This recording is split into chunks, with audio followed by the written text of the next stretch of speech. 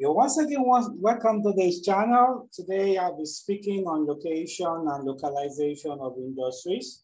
Okay, for our economics uh, uh, students and candidates uh, across uh, all the levels. Uh, this topic is very, very relevant for you. Now, uh, what, what is location of industry? Location of industry is the siting of a firm in a particular place.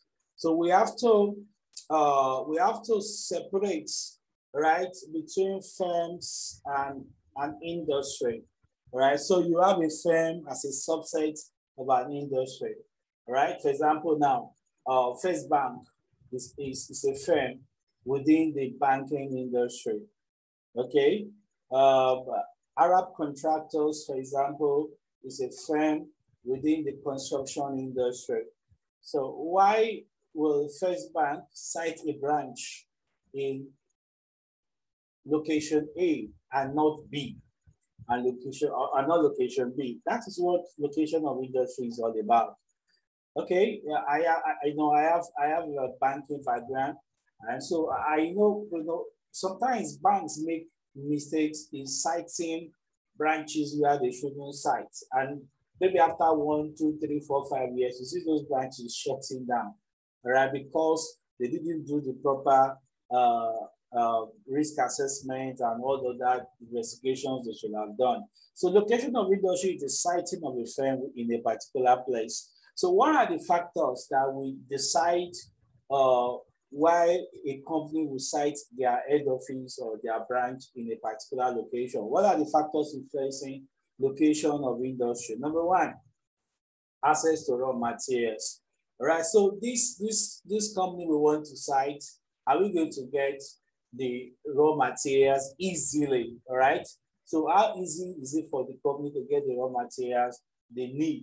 So uh, that is very, very important. You want to start a block manufacturing company. You will need cement, you will need water. So how easy is it, how, how easy is it going to be for you to get water, to get cement? All right. Number two, access to power. All right. Uh, especially for the third world.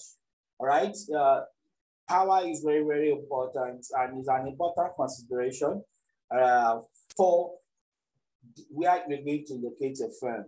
Okay. So are you going to have access to regular supply. For example, now uh, in Nigeria, for example, the the access to power is not even. That is all the truth. Right. So you have some areas within the states, all right, even within a town, some areas have you know custom power, all right, some areas do not have. So you have to be able to look at, you know, how easy it will be for you to have regular access to power. Number three is nearness to market or buyers, right? So if I have my company sited, who are my who are my customers? All right, are my customers are they nearby? Because the closer your customers are to you, the lower your distribution costs. All right, so you also want your mark, your the markets, the buyers to be as close to you as possible. Then number four, access to transportation facilities. All right, so you also need to look at the transportation network uh, for the business you want to site. So you, you know, I talked about distribution network the other time. All right, so good roads, all right, good roads, uh, access to maybe to the sea, access to the, uh, the airports, and so on. So all those considerations, you have to look at them. The nature, natural factors also can affect. For example, you want to start uh, you want to start uh, an oil company uh, looking offshore, looking for, for oil, for crude oil, it, is, that is definitely going to be decided by nature. All right. So, for example, in Nigeria, for, for example, now you want to look for oil, most likely you, your business will be based in south south of the country. All right. Uh, you want to do mining. So, for example, in Nigeria, you'll be looking at Nasarawa states right? Nasarawa State, maybe some part of Osun State, uh, some part of Plateau State. All right, so that is nature deciding the location of industry. Then you have to look at the availability of skill labor. The, the business you are going to be doing, what are the kind of skills you will need? You have to consider that. Then task consideration. Sometimes businesses, they move from one country to the other because they want to minimize their costs, their tax uh, expense. So some countries, you know, they are more uh, friendly, quote and unquote, all right, so business in terms of the way they, they, uh, they tax businesses, okay, especially maybe you are in a particular field where the field is going to add a lot of value to their citizens. So you may look at tax consideration also inciting your, your business. Now let's look at localization of industry. So location is why will a company site its, its uh, head office or its branch in a particular place. Now localization of industry is the concentration of firms producing similar products in an area. Have you noticed in Nigeria, all right, banks, for example, if you just go to VI, you will see virtually all the head offices, head office of all the banks in Nigeria, most of them are in VI, Nigeria. All right, if you go to maybe CMS in Lagos, right, you see, uh, uh, I think Wema Bank head office is there, First Bank head office is there, UBA head office is there. So you see, like that. So you, sometimes you just see some of these industries, all right, just just just kind of cornered in a particular uh, location. So this is this is trying to ask why. Why do you see um, an industry concentrating in a particular uh, area? All right. So what are the factors influencing localization of industry? All right. Uh, number one, government regulations. Government can say, okay, all of you people doing computer businesses, this is your village. So we have computer villages all over Nigeria. We have mechanic villages all over Nigeria. We have abattoir all over Nigeria. All right, sited by the government. So you don't have a choice. All right, so government regulations can enforce an industry to be located in a particular area or region. Access to raw materials also can also uh, force an industry to be concentrated in an area. Of course, every company, like we said, wants to be close to the raw material.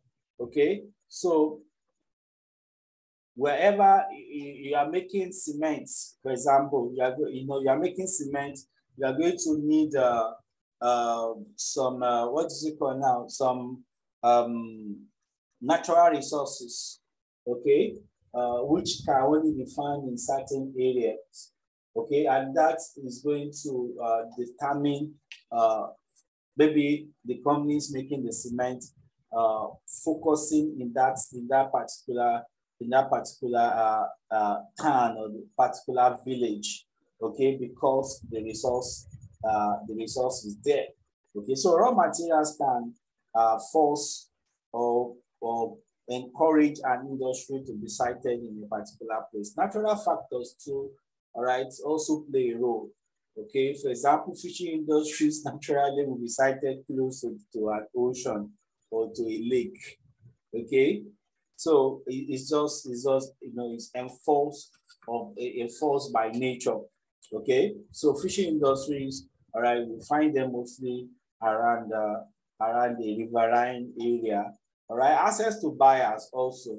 So you want to be close to the market. So wherever the the market is, you want to be there. You want to, all right, uh, see campuses, for example, you see a lot of uh, telecommunication firms, all right, even they don't have a big shop, a big office, they're going to have athletes for campus, all right, because students definitely they are going to be needing data and the rest. So, so you, you, you want to be close to your buyers as much as possible, all right, then access to capital.